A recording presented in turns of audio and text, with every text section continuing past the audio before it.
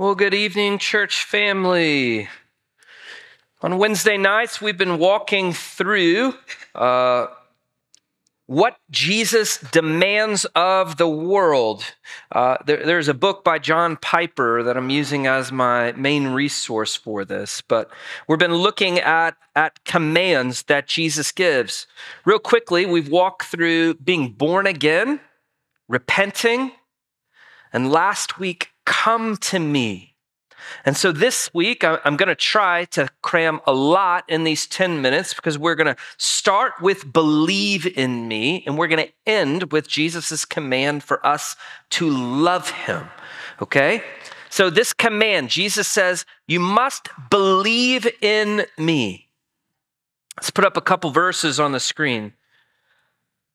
Do not let your heart be troubled. Believe in God believe also in me. John 14, 11. Believe me that I am in the Father and the Father is in, in me. Otherwise, believe because of the works themselves. Continual command. You must believe. John 6, 35. Jesus said to them, I am the bread of life, and he who comes to me will not hunger, and he who believes in me will never thirst. That verse, remember last week we looked at the call to come to him. He says, Come to me. And this verse is going to be pivotal because it talks about believe in me, coming and believing tied together. And then verse uh, John 20, verse 27.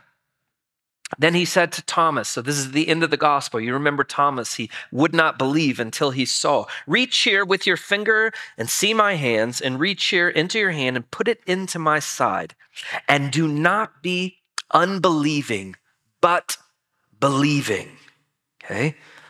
So, why do we need to believe in Jesus?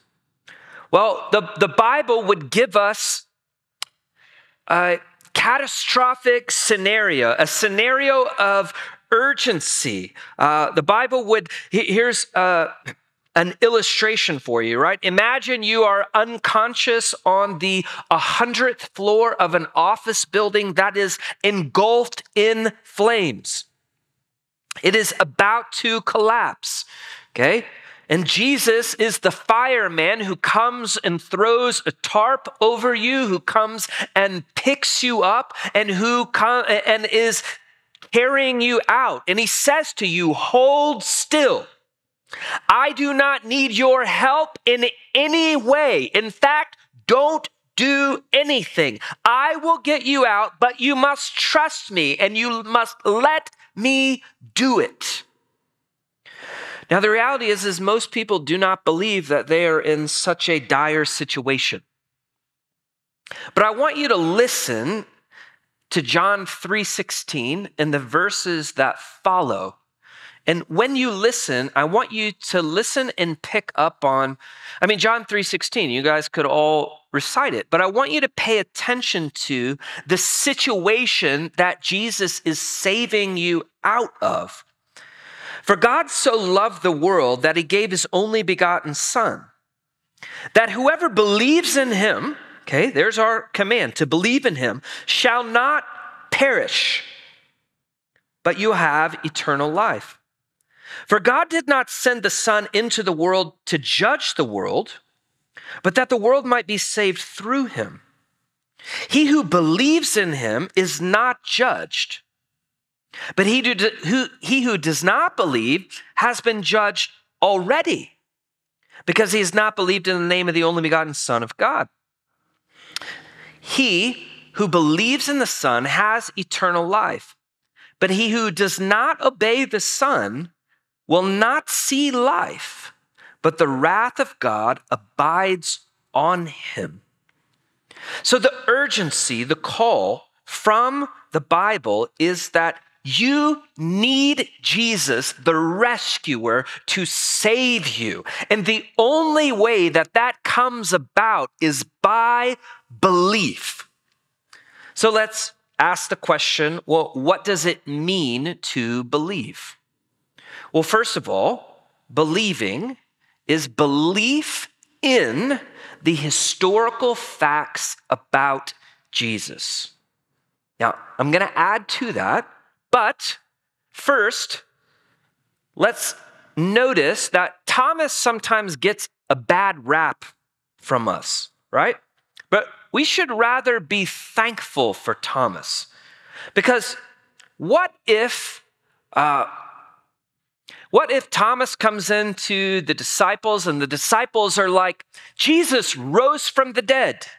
And Thomas is like, Where is he? I need to see that. And the disciples instead say, Oh, we don't mean he actually rose from the dead. It's like this really cool idea. Like it's a spiritual force that, like, if he would have risen from the dead, wouldn't there be so much power in that? Like, that's a bunch of nonsense, isn't it? Okay, there's a lot of liberal theologians that get off on all that goofy stuff because they devalue the historical reality of the resurrection. And Thomas is like, no, I, I need to see. And then Jesus shows up and says, see, touch, feel. Now believe. Do not be unbelieving. This is important, guys, because belief or faith is not a leap in the dark. It is historically based facts. God sent his son, the historical Jesus. He lived his life. He died on a cross. He's resurrected. Historically based facts. Now, so one, but two, belief is more than just believing the facts because you see, the demons, they also believe facts about Jesus.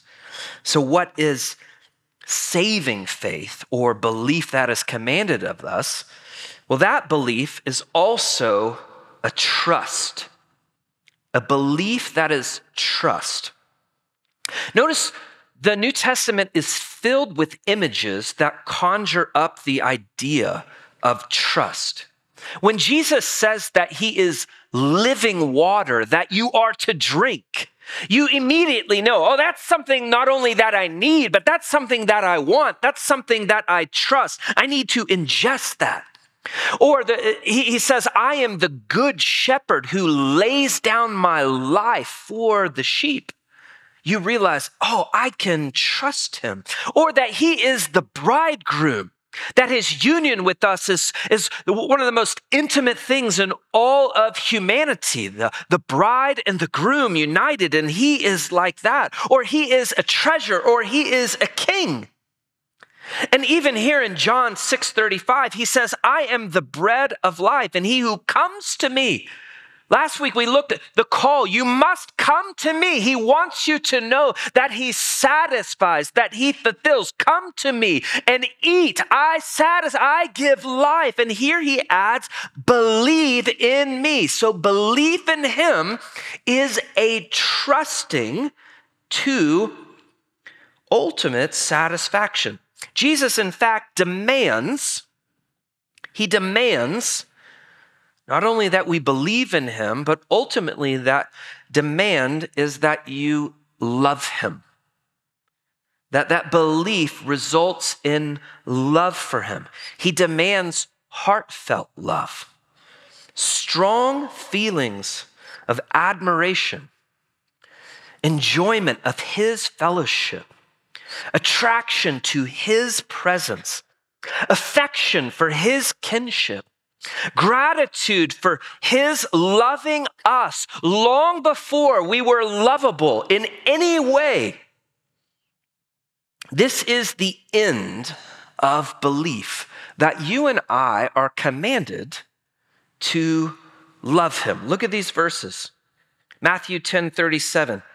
He who loves father or mother more than me is not worthy of me. And he who loves son or daughter more than me is not worthy of me. In John 8 42, Jesus said to them, If God were your father, you would love me. So, if this is the end and this is the command, I mean, you, you and I can read these and we can say, wait a second, wait a second. You cannot command the heart to love. You cannot command affections of the heart. Well, Jesus does. And our moral inability to produce it does not remove our guilt. Rather, it reveals that our heart is corrupt. You say, how can I love someone more than I would more than I would love my dear children? Well, at that moment, you and I become desperate for a new heart, for to go back to the previous command of being born again to have the heart of stone ripped out and replaced with a heart of flesh that beats for him, that has his spirit put inside of us so that we would love him. In fact, to be able to see that and to encounter that is the gospel itself. It's the magnificence. It's why we sing that to be uh, a, a, true Christian with a heart for Christ, like you sing songs like Hallelujah, what a Savior, out of the free flow of your heart. Okay? That is the longing, that is the desire, that is when everything is good. That is how it is supposed to be. And in fact, that is what is commanded by Christ. But can I just confess, and here's where I'm about to land can I just confess that my heart is not always perfect? that my heart so often gets distracted and gets messy with other things. So I would also add that the Bible is full of the idea that loving Jesus is also a process. And it's a process of seeing your need for the gospel more and more and more. Let me close. In Luke chapter 7, Jesus is at a dinner party with Pharisees. And in the middle of that dinner party, in walks a woman who is known in the community to be a sinner. And Jesus apparently had had a previous encounter with her. And he had met her and he had forgiven her of her sins. And she breaks into that dinner party and begins to weep over Jesus. And her tears fall on his feet and she wipes them with her hair. And she has perfume that she has brought some of her most prized possessions. And she is lavishing this on him. And the dinner party, the Pharisees, the host, says if he knew who she was, he wouldn't have anything to do with it. He's not a prophet. And then Jesus looks up and teaches him. He says, Listen, here is a principle of the heart. He who has been forgiven much loves much. And he who has been forgiven little loves little. So here's the truth for us to end with. You and I, as born again believers, are commanded to love Jesus. The way that actually occurs in our lives is walking through life. And as the Holy Spirit is allowed to go in every nook and cranny of our heart, we actually realize the deeper need for the forgiveness of Christ as he, like a consuming fire, takes all of us. And it's in that process of walking with him, you actually realize, I have been forgiven much. And then your heart, in return, will only have one response that is, you will love much. Let us pray. Our Heavenly Father, we thank you as we contemplate the magnificence of your Son, all that He has done for us, and your patience with us. Not only have you forgiven us at a moment in time in justification, but your Spirit indwells us and kindly and patiently teaches us throughout the course of our life. And, and you expose the, the sin nature in us but there is grace There is grace upon grace. There is more than enough grace for every moment of our lives. And, and you captivate our heart, and our heart beats for you, and our heart loves you. And we actually rejoice to give that praise back to you that we believe that you are our only hope. And likewise, we love you because you have forgiven us much. Help us to walk in that truth. In Jesus' name we pray. Amen.